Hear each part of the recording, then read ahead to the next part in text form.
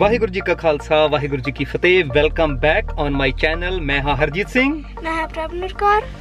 ਤੇ ਮੈਂ ਹਾਂ Gurjeet Kaur. It's holiday time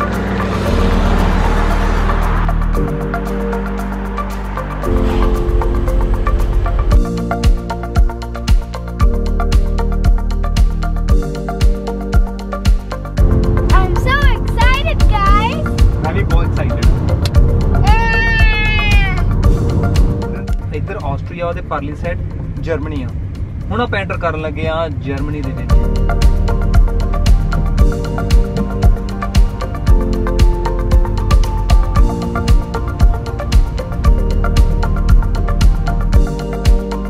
ਜਿਹੜਾ ਹਾਈਵੇ ਹੈ ਜਰਮਨੀ ਦਾ ਹਾਈਵੇ ਆ, ਇੱਥੇ ਕੋਈ ਸਪੀਡ ਲਿਮਿਟ ਨਹੀਂ ਆ। ਜਿੰਨੀ ਮਰਜ਼ੀ ਤੇਜ਼ ਤੁਸੀਂ ਗੱਡੀ ਇੱਥੇ ਚਲਾ ਸਕਦੇ ਆ।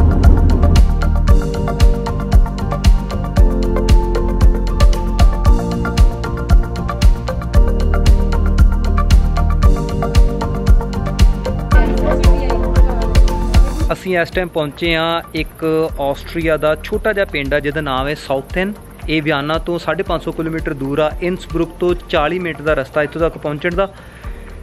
ਜਿਹੜੀ ਮੇਰੀ ਫੈਮਿਲੀ ਆ, ਬਾਕੀ ਉਹ ਸਾਰੀ ਇੱਕ ਦਿਨ ਪਹਿਲਾਂ ਪਹੁੰਚ ਗਈ ਸੀ, ਕਿਉਂਕਿ ਇੰਡੀਆ ਤੋਂ ਆਣ ਕੇ ਮਸਟ ਮੈਨੂੰ 5 ਦਿਨ ਕੁਆਰੰਟਾਈਨ ਰਹਿਣਾ ਪੈਣਾ ਸੀ। ਅੱਜ ਮੇਰਾ ਕੁਆਰੰਟਾਈਨ ਖਤਮ ਹੋਇਆ ਕਰੋਨਾ ਟੈਸਟ ਕਰਕੇ ਤੇ ਅਸੀਂ ਆਪਣੀ ਫੈਮਿਲੀ ਦੇ ਨਾਲ ਇੱਥੇ ਪਹੁੰਚ ਚੁੱਕੇ ਹਾਂ। ਮੇਰੇ ਮਾਤਾ ਜੀ ਵਾਹਿ ਖਾਲਸਾ, ਵਾਹਿਗੁਰੂ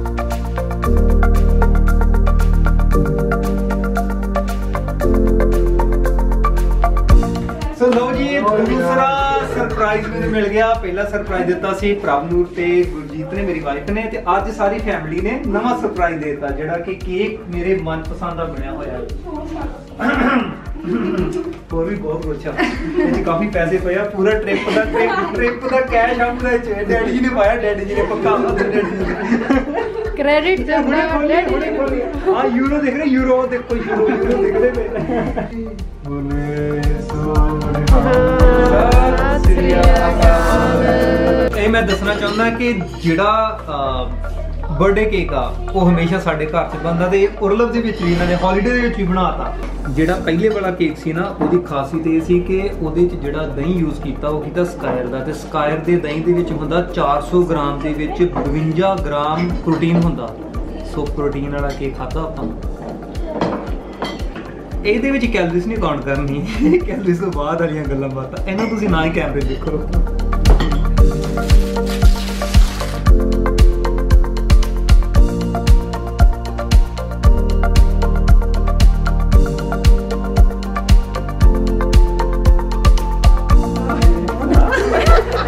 ਬਸ ਮਾਤਾ ਜੀ ਨੇ ਵਧੀਆ ਕਹਿਦਾ ਸਮਝ ਲਓ ਕਿ ਸਾਡੇ ਇਸ ਹੌਲੀਡੇ ਦੀ ਸ਼ੁਰੂਆਤ ਵਧੀਆ ਵਾਲੀ ਹੋ ਗਈ ਆ।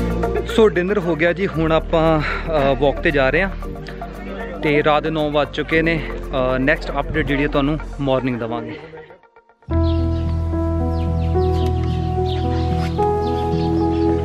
ਗੁੱਡ ਮਾਰਨਿੰਗ ਗਾਇਸ ਅੱਜ ਦੇ ਦਿਨ ਦੀ ਸ਼ੁਰੂਆਤ ਕਰਦੇ ਹਾਂ ਰਨਿੰਗ ਦੇ ਨਾਲ।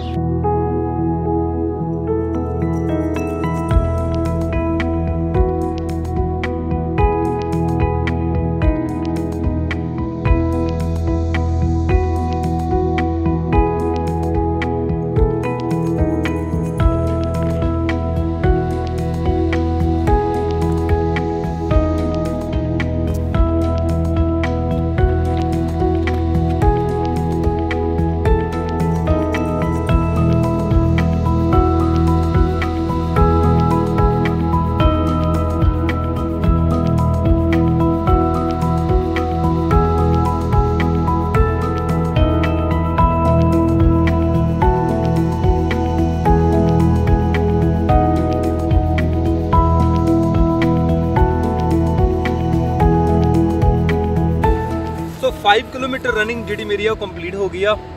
ਵੈਸੇ ਵੀ ਗਾਇਸ ਜਿਹੜਾ ਕਿ ਇਸ ਹੌਲੀਡੇ ਦੇ ਵਿੱਚ ਮੈਂ ਕੰਟੀਨਿਊਸ ਰਨਿੰਗ ਰੱਖਣੀ ਆ, ਕਿਉਂਕਿ ਵਿਆਨਾ ਦੇ ਵਿੱਚ ਇੱਕ ਚੈਲੰਜ ਦੇਣਾ ਸੀ ਜਿਹੜਾ ਕਿ ਤੁਹਾਡੇ ਲਈ ਸਰਪ੍ਰਾਈਜ਼ਿੰਗ ਹੋਊਗਾ, ਉਹ ਚੈਲੰਜ ਹੋਵੇਗਾ 5 kilometre running and 5 kilometre cycling ਤੇ ਇੱਕ ਸਾਡੇ ਆ ਦੁਨਾਓ ਕਹਿੰਦੇ ਆ, ਵੱਡੀ ਨਹਿਰ ਨੂੰ, ਉਹਨੂੰ ਅਸੀਂ ਕ੍ਰਾਸ ਕਰਨਾ।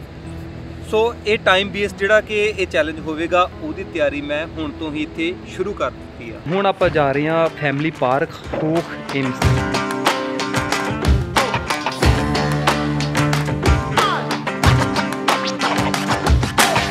ਫੈਮਿਲੀ ਹੌਲੀਡੇ ਆ ਤੇ ਫੈਮਿਲੀ ਪਾਰਕ ਵਿੱਚ ਨਾ ਪਹੁੰਚੀਏ। ਅਸੀਂ ਇਸ ਟਾਈਮ ਪਹੁੰਚ ਚੁੱਕੇ ਹਾਂ ਫੈਮਿਲੀ ਪਾਰਕ ਹੋਖ ਇਮਸ ਪ੍ਰਭ ਨੂੰ ਤੈਨੂੰ ਟਾਸਕ ਆ, ਤੂੰ ਬੈਕ ਫਲਿਪ ਕਰਨੀ ਹੈ ਇੱਥੋਂ। ਕਮ ਔਨ ਹਾਂ come on come on jump and back flip jump ਪੂਰਾ ਜੰਪ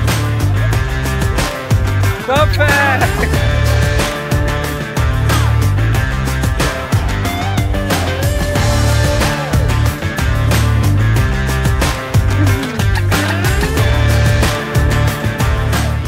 ਆਪਾਂ ਹੁਣ ਜਾ ਰਹੇ ਹਾਂ ਜੀ ਕੇਬਲ ਕਾਰ ਦੇ ਨਾਲ।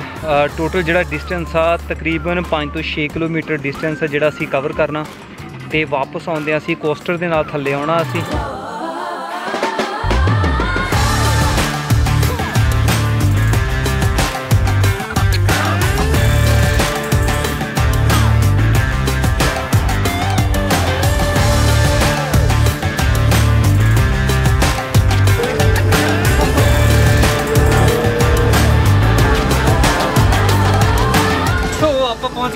ਆਪਣੀ ਡੈਸਟੀਨੇਸ਼ਨ ਤੇ ਇੱਥੋਂ ਆਪਾਂ ਜਾਵਾਂਗੇ ਕੋਸਟਰ ਦੇ ਨਾਲ ਜੋ ਬਹੁਤ ਮਜ਼ਾ ਆਉਣ ਵਾਲਾ। ਓ, ਸਵਾਗਤ ਸਵਾਗਤ ਸਾਡਾ ਵੈਲਕਮ ਕੀਤਾ ਵੈਲਕਮ ਹਾਂਜੀ ਹਾਂਜੀ ਆ ਗਏ ਅਸੀਂ ਆ ਗਏ।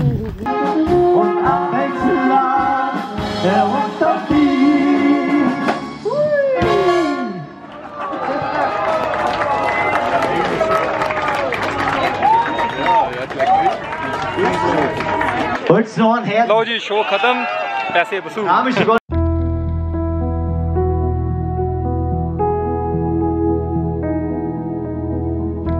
ਸੋ ਇੰਨੀ ਹਾਈਟ ਤੇ ਆ ਕੇ ਨੇਚਰ ਦਾ ਤੇ ਸ਼ਾਂਤੀ ਦਾ ਮਜ਼ਾ ਨਾ ਲਿਆ ਤੇ ਕੀ ਮਜ਼ਾ ਲਿਆ ਆ 30 ਕੁ ਮਿੰਟ ਇੱਥੇ ਟਾਈਮ ਸਪੈਂਡ ਕਰਕੇ ਫਿਰ ਅਸੀਂ ਥੱਲੇ ਜਾਵਾਂਗੇ ਕੋਸਟਰ ਦੇ ਉੱਪਰ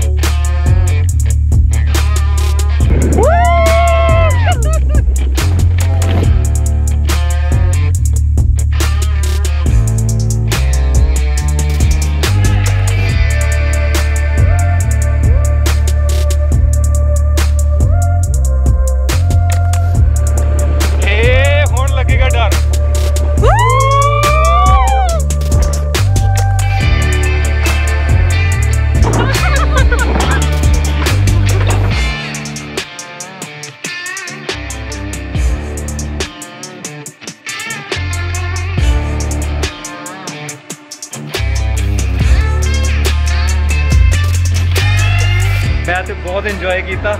ਤੇ ਗੁਰਜੀਤ ਨੂੰ ਪੁੱਛਦੇ ਗੁਰਜੀਤ ਕਿਵੇਂ ਲੱਗਾ? ਬਹੁਤ ਵਧੀਆ ਐਕਸਪੀਰੀਅੰਸ ਸੀ। ਹੁਣ ਚੱਲਦੇ ਹਾਂ ਅਸੀਂ ਨੈਕਸਟ ਮਿਸ਼ਨ ਤੇ। ਹੁਣ ਕਿੱਧਰ ਤਿਆਰੀ ਤੁਹਾਡੀ.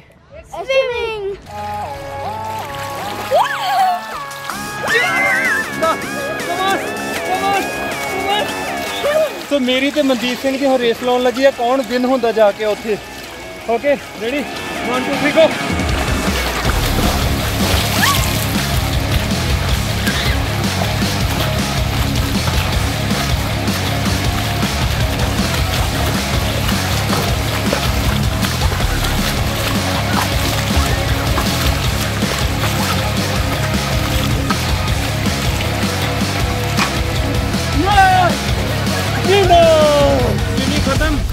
ਚੱਲੀਏ। ਇੰਜੋਏ ਹੋਇਆ ਹਾਂਜੀ। Thank you master ji. Let's go ਹੁਣ ਆਪਾਂ ਪਹੁੰਚ ਗਏ ਜੀ ਵਾਪਸ ਘਰ। ਆ, ਬਹੁਤ ਇੰਜੋਏ ਕੀਤਾ। ਹੋਪ ਤੁਸੀਂ ਵੀ ਇਸ ਵਲੌਗ ਦੇ ਵਿੱਚ ਕਾਫੀ ਇੰਜੋਏ ਕੀਤਾ ਹੋਵੇਗਾ। ਸਾਨੂੰ ਦਿਓ ਇਜਾਜ਼ਤ। ਜਾਣ ਤੋਂ ਪਹਿਲਾਂ ਚੈਨਲ ਨੂੰ ਜਰੂਰ ਸਬਸਕ੍ਰਾਈਬ ਕਰ ਲਓ ਜੀ ਤੇ ਬੈਲ ਆਈਕਨ ਦੀ ਘੰਟੀ ਜਰੂਰ ਦਬਾ ਦਿਓ। ਸੋ ਮਿਲਦੇ ਹਾਂ ਨੈਕਸਟ ਵਲੌਗ ਦੇ ਵਿੱਚ। ਦਿਓ ਇਜਾਜ਼ਤ। ਵਾਹਿਗੁਰੂ ਜੀ ਕਾ ਖਾਲਸਾ ਵਾਹਿਗੁਰੂ ਜੀ ਕੀ ਫਤਿਹ।